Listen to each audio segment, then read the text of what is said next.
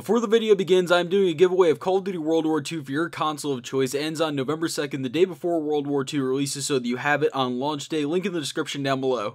Hey guys, Luke, and today I want to talk about something a little bit different from what I normally do, and that is content creation in the zombies community, and more specifically, if you are a zombies YouTuber, should you be a streamer or should you be a video maker? And in no way, shape, or form am I popular enough to be some sort of authority on this, but I do have 15,000 subscribers, and as a person who started off as a video maker, morphed into a streamer, and then went back to being a video maker, I want to talk about my experiences and personally what I think people should be doing in the zombies community. Now, I want to give you guys some pros and cons to decide for yourself whether being a video maker or whether being a streamer is best for you in the long term, what your goals are, etc., etc. So I'm going to go over the pros and cons of each of them. So starting off with streaming, some of the pros are that it doesn't take as long as making videos. If you're a person that you don't have a lot of time to sit down and make a video for four or five, six hours, whatever it is a day, then you're probably going to want to start off as a streamer, especially if you don't have that many subscribers because it's instant gratification and it's really, really good for growth initially. For the first couple thousand subscribers, it is absolutely incredible to be a streamer. And if you do get raided by someone that's fairly large, you're going to get a lot of subscribers, you're going to get a lot of views on your first couple of streams after that. It's going to help you out in the YouTube algorithm a little bit, but long term, not a lot of the subscribers are going to stay around. And one last thing with streaming is that it's very, very moody, where let's say one day you're going to have 50 viewers in your stream and you're getting a ton of subscribers, you're getting a ton of love, all these donations are rolling, and then all of a sudden the next day you're going to have 10 viewers, 15 viewers, especially it happens when people are going back to school. Your viewer base will drop off of a cliff. And some cons to being a streamer are that I'm going to be very blunt here. People are only going to care about your streams. They're not going to care about side projects. They're not going to care about you making videos. They're not going to care about literally anything other than your streams. It's not something that just happened to me. It's something that happens to almost everybody. There are very few people that have been known as streamers and have gotten 50,000, 100,000 subscribers, whatever it is, that can still upload a video and get a lot of views. There are people that have done it, but they're very, very few. And some of the other cons are that people that are subscribing for zombie streams in particular are only going to care about zombie streams. This is a sort of a case across the entire zombies community, not necessarily just for streams, but it hits them especially bad where people that subscribe for zombies content are only going to want to watch that. They're not going to care about you doing a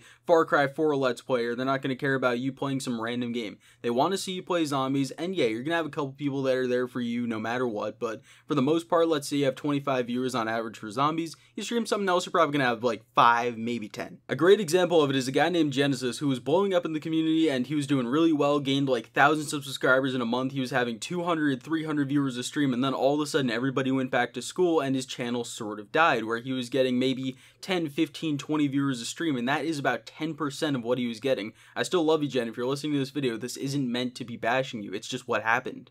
And now onto the video making portion of this video, I want to go over the pros and then the cons first, just as I did with the streaming section. So I'm going to be very blunt here once again, it is harder to be a video maker than it is to be a streamer for most people, unless you're putting Dr. Disrespect levels of production into your streams and you're constantly reading chat, you're constantly doing stuff, and you're constantly being entertaining, it is harder and more time consuming to make videos. And it is harder to get that original 500 or 1000 subscribers to get you off the ground by making videos, but in the long term, it's so much more worth it because they're going to stick around, they're going to have an emotional investment in your channel, and they're really going to want you to succeed by sharing your videos or watching constantly, liking them, commenting, whatever they need to do, they're going to be there for you. And as your community continues to grow and you continue to upload videos, more and more of those people are going to be sticking around than they would with streaming. That's just how it is. Most of the time when you're a streamer, you're going to be recycling the people that are watching your streams probably every month, but people that watch videos are always going to be there for you. And with videos, they continue to get more and more views over time, especially if it's a good quality video and it's something that people care about, but with stream, as soon as you hit that end stream button, your views will fall off of a cliff and no one's going to want to go back and watch a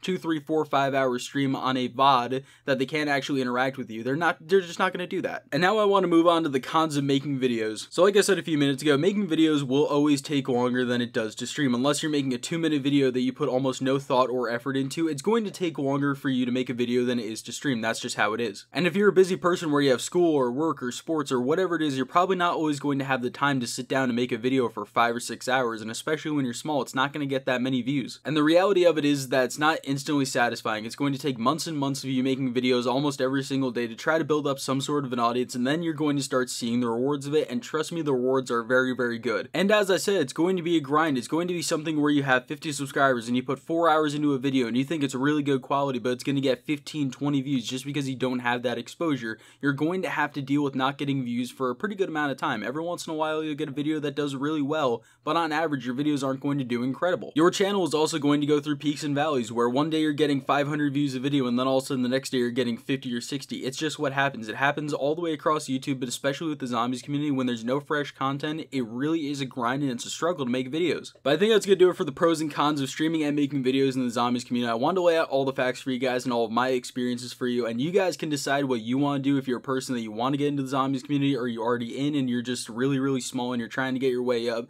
I just wanted to give you guys all the facts and you can decide for yourself. And if you're a person who's just starting off or you're thinking about joining the zombies community and making videos or streaming, right now is the time to do it because yes, views are a little bit down, but you have to get yourself a little bit of an establishment before World War II comes out because believe me, it's going to be big. But I do hope you guys enjoyed the video. Leave a like if you did, subscribe if you guys new around here, check out the description, out of my giveaway, you know, all that kinds of stuff that a YouTuber is supposed to say. Anyway, I love you guys, and I'll see you in the next video. Peace.